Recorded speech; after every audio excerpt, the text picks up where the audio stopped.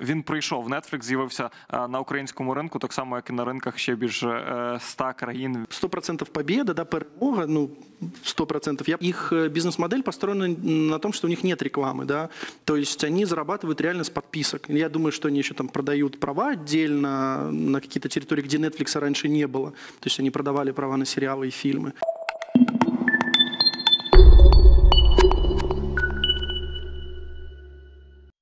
Він прийшов. Netflix з'явився е, на українському ринку, так само як і на ринках ще більше е, 100 країн, в- яких він до цього був заблокований. Олексій Тарасов, людина, яка знає, що таке Netflix, тому що сама є активним користувачем. Більше того, Олексій Тарасов, який є е, ведучим громадського та головним редактором інтернет-видання бюро 24 на 7, знає, що таке медіа і чим їх їдять.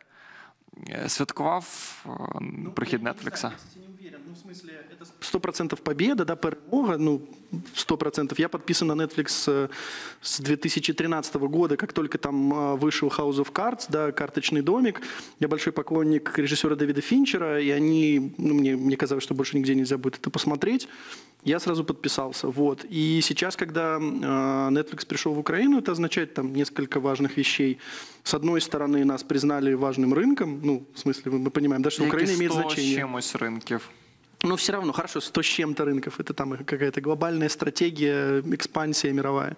Вот. Э, С другой стороны, это означает, что э, пересмотрят правила игры для вот контента в интернете, да, но мы говорим о, там, о лицензировании, да, то есть сейчас э, есть достаточное количество э, наших любимых э, пиратских файлообменников, на которых мы смотрим, значит, фильмы, э, совершенно не платя за это ни копейки.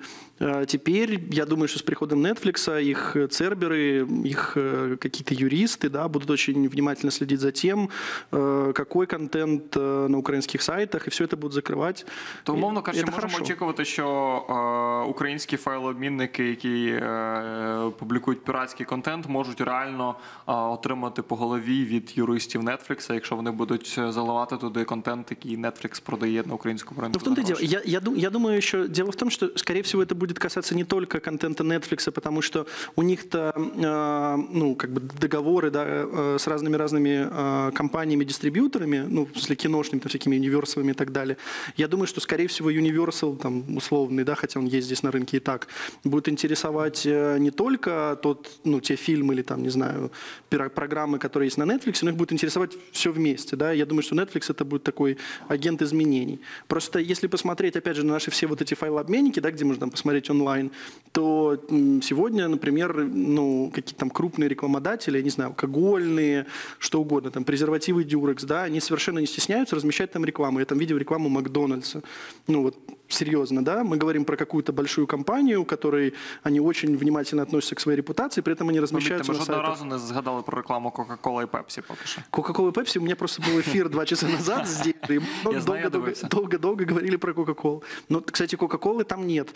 И про Макдональдс мне объясняли, что это просто не докрутили, ну, не- недостаточные были, видимо, показатели рекламы. и Они Им треба просто- было докрутить Да, это агентство, это не Макдональдс, это агентство туда их разместило. Ну вот я думаю, что это прекратится, а наши, ну, файлообменники, вероятно, там перерегистрируются на какие-нибудь там кипрские Ну, серверы. ми пам'ятаємо, коли е, юристи е, активно просували українські файлообмінники, і на топових із них е, контент зник. Ну да, ну в общем, одним словом, э, понятно, что, ну, скажем так, э, користувача, користувача, да, э, пользователя украинского, э, его это беспокоит, потому что он ну, думает, где я буду смотреть фильмы.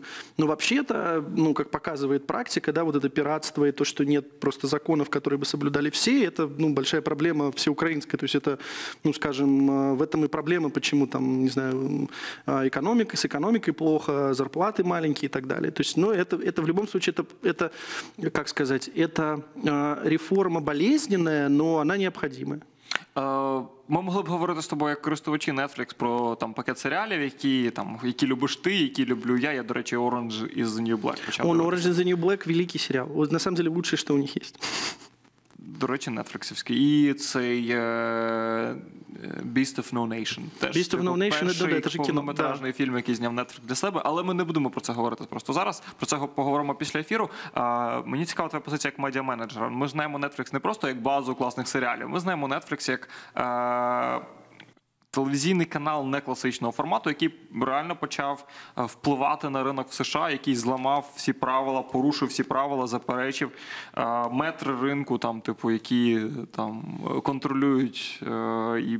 Пропонують один з найкращого контенту, який є взагалі в цьому в цій сфері. HBO стикаються з тим, що Netflix повністю ламає їхні стандарти, відмовляється від цих а, прем'єр однієї серії в один день конкретний. Вони просто грають з іншими правилами, розширюють рамки.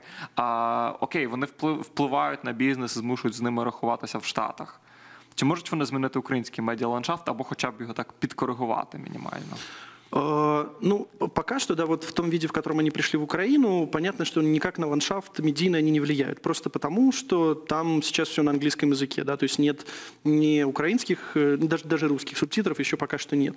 Но, опять же, если понимать, что, ну, явно их глобальная экспансия, вот этот вот их э, план расширения, да, никак э, не может быть построен на том, что все резко выучат английский язык, да, логично, что очень скоро эти субтитры появятся. Э, Есть еще другая проблема. Понятно, что это стоит денег. Да? Например, э, там сейчас, по-моему, речь идет о 7 или 10 евро, да? ну, что-то что около того. Это ну, вот на данный момент это дороже, чем пакет кабельного телевидения, да, за который там многие платят сейчас э, в Украине, ну, обычные телезрители.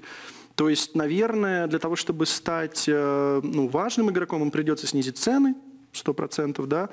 Ну, Як це зробили Apple Music для України? Ну, тобто да. для України вони мають іншу цінову політику порівняно з іншими країнами. Ну вот, э, то есть это первое. Второе, все-таки мне кажется, что не очень легко будет сразу приучить э, украинского телезрителя к, э, ну, к субтитрам, да, потому что все равно одно дело, когда это дублированное, да, м, там, кино или сериал, совсем другое это сидеть и читать буковки. Э, Ну вот мы посмотрим, что они будут делать с этим, потому что, в принципе, э, они же есть, э, Netflix есть там, например, на немецком рынке, да, ну вот там все, почти все субтитрированное, какая-то часть переводится. В общем, пока что, пока что вот серьезного прям серьезной угрозы для медиарынка, да, да, вот для постоянных э, игроков они не представляют. Но, опять же, э, зная, м, с какой скоростью они, в принципе, движутся, да, с какой скоростью они вводят какие-то новые штуки, э, понятно, что все игроки рынка должны с этим считаться. Е, Їхні інноваційні штуки, типу там публікація серіалів пакетами. Як це сприймаєш, типу, з точки зору медіа менеджменту? Типу, е, замість того, щоб е, змушувати чи- користувача чекати, для того, щоб створювати якусь додаткову інтригу, обривати серію на найцікавішому, а потім показувати продовження через тиждень або і більше. Типу, вони просто відразу викладають весь весь сезон. Це розумно? Ну, э, они же просто, их э, бизнес-модель построена на том, что у них нет рекламы, да, то есть они зарабатывают реально с подписок. Я думаю, что они еще там продают права отдельно на какие-то территории, где Netflix раньше не было, то есть они продавали права на сериалы и фильмы. І, ймовірно, це може припинитися якраз Ну да, в в том, з в їх том, виходом в том-то на и її дело. зовнішні ринки. Ну, я думаю, что, судя по тому, что вот там у них э, 130 новых стран, да, логично, что они со- со- собираются зарабатывать конкретно да, с подписок. Э, Я думаю, ну, да, они изменили ландшафт тем, что они стали выкладывать сериал целиком. То есть вот ты получаешь весь сезон в первый же день, да, ты можешь посмотреть все там 12 или 10 серий в А зависимости. можеш розтягнути задоволення. Ну да, я лично, ну вот лично, да, вот просто, я поклонник того, чтобы смотреть вот каждую серию, ну то есть давать какой-то промежуток, да, там есть неделя, я посмотрел, но э, тут еще есть момент в том, что они таким образом меняют и сериал драматургически. Ну то есть, скажем прямо, что когда вы смотрите э, сериал целиком там, в один присест или там, в два, ну, там, за 2-3 дня, а, тем самым вы не замечаете многих вещей сценаристских каких-то ляпов. Это вот я читал много на эту тему текстов а, каких-то американских, что, например, вот если, если бы, например, House of Cards, да, эм, карточный домик показывали конкретно вот так вот каждую серию раз в неделю, то, вероятнее всего, у нее было бы гораздо больше критики. Ну, в смысле, ее критиковали бы больше, потому что э, ну, скажем, в, в американском обществе есть такая система рекапов, да, когда выходит одна серия, и очень большое количество там журналов, онлайн-изданий, они пишут свои какие-то рецензии каждый на серию, они обсуждают, если это популярный сериал, это очень популярная штука. Вот, и с, с помощью таких рекапов, да, очень часто растаптывают сериал, ну, вот прям на корню. Это не, не всегда влияет там на рейтинги или на что-то еще, но, э, ну, в общем, то, что они выкладывают это целиком, они себя от этого обезопашивают. Я не знаю, если такое слово, обезопашивают. І ще одна штука. Ти е, ми розуміємо, що будь-який прихід там нового медіа, нового сильного конкурента на ринок може сприйматися як загрозу. З іншого боку, це можливість. Це додатковий стимул вдосконалюватися. Ти е, якби був власником якогось телеканалу, або насправді це стосується не лише теле- телебачення, це стосується усіх медіа загалом. А чого б навчився у Netflix? Ну, мне кажется, главное, то, чего не делают сейчас каналы, они очень мало, ну вот посмотреть на наши традиционные да, телевизионные медиа, они очень мало места в своей жизни, в своем бизнесе уделяют конкретно интернету. То есть они развивают сайты, как э, там новостные, например, да, э, но они э, очень мало уделяют тому, чтобы потом их преданный зритель мог где-то посмотреть вот их там любимые телепрограммы и так далее. То есть они как-то выкладывают. Но имеется в виду, что чему научил Netflix, да, что если у вас есть какой-то супер популярный продукт, ну, супер качественный, который любит достаточное количество людей, то за этот продукт готовы платить, да, то есть готовы на него подписаться. Ну, условно говоря, никто не развивает своих онлайн-платформ. Если посмотреть на Штаты, то вот э, после примера Netflix, который же начинал просто как э, такой видеопрокат, да, то есть можно было онлайн заказать, и тебе э, доставляли по почте, доставляли там DVD или Blu-ray с каким-то фильмом, который ты хотел посмотреть. Вот. Потом они сделали, значит, онлайн-платформу, ту, которую мы знаем сейчас. Так вот, в Штатах эм, э, возникло очень большое количество, ну как большое, достаточное количество конкурентов. Там интернет-магазин Amazon запустил свой канал Amazon Prime, там Вуди Аллен сейчас снимает для него сериал, да. Э, HBO, которые долго упирались, э, долго не хотели выходить в онлайн, сделали HBO Now, где есть все их вот эти вот чудесные программы, да есть там Hulu и так далее. То есть, если посмотреть на э, мировой рынок и просто думать о том, что, ну, наверное, стоит защищать самих себя, то есть свой собственный бизнес, да, то логично, что э, в Украине должен появиться какой-то вот такой подобный эм, онлайновый э, большой стриминг-сервис. То есть у нас есть Мегаго, на самом деле. Я знаю, что Мегаго популярен в Дуже России.